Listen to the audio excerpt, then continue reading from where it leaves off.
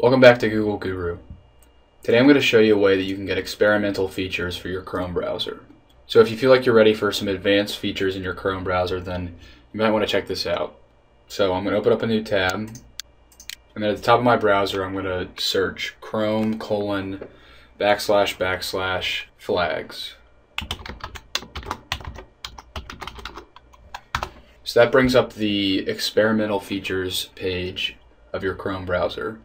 So this is a list of a bunch of features that are not quite ready for the wide release of Chrome. So Google doesn't give any guarantees with how much they may work or if they will fail or break, but there's still some really exciting features that you can use. I'm not going to get into all of them right now, but if you feel comfortable using some experimental features, then you might want to just scroll through this page and see what you might be interested in.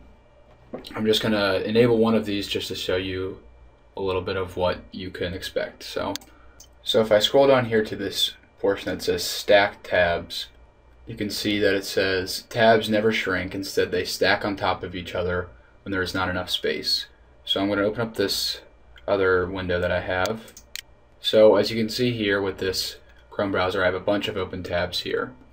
So if I add another tab, all that happens is these tabs just shrink a little bit. But let's take a look and see what happens when I enable this experimental feature. So I'm going to click enable and then I'm going to have to relaunch Chrome.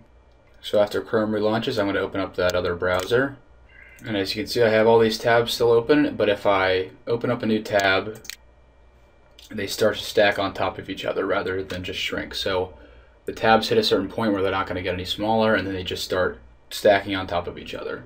So this is just a cool little addition that you can add to your Chrome browser. It's it's certainly not a groundbreaking feature by any means, but it's still a pretty cool feature that some people might enjoy.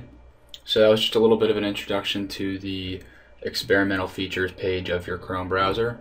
If you have any questions, please leave us a comment in the section below the video. Thanks.